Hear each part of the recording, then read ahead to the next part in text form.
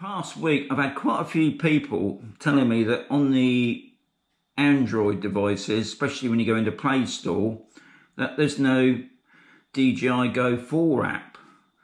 And then somebody said to me that there's no apps at all. So I thought, we'll just check that out. And they're right. Now on the Apple, no problem. Got all the DJI Go 4 apps but on the Android in the Play Store, there's nothing. Obviously, you can see there you got Litchi, which you got to pay for.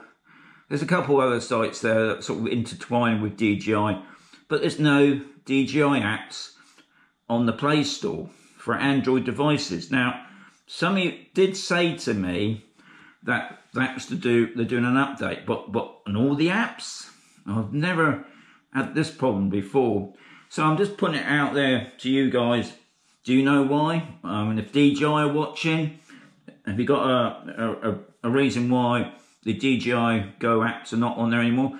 But anyway, if you've got a DJI drone and you've only got Android, don't go out and buy an iPad um, or pay even literally really. If you go onto the DJI site itself, go into support, I'll put up a little image now.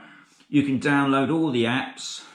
Um, now, what somebody did tell me, let's just go back into that again, just to prove that it's not there. And also, if I, I'll just put in the DJI Go 4 app, still not there. Um, somebody's asking me about, now I've still got the DJI Phantom Vision Plus.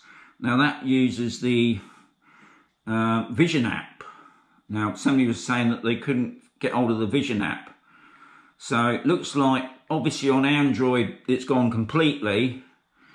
But here on um, the Apple, I'll call it the Apple, the DJI Vision app's still there. Now my drone, I think the transmission device is not working at all now because I can fly the drone, I can still take videos and pic pictures, but I just can't see what's going on on the screen. Um, but so, but anyway, just let you know that that's still there on the Apple, but on the Android, we got nothing. So anyway, hope you find that interesting as always. Give it a thumbs up. Give it a thumbs down if you don't like it. Um, but anybody else knows the reason why there's no DJI Go apps on the Android that I'd be interested to know. And I'll catch you on another on another video. God, it's so sensitive. Anyway, fly safe, guys.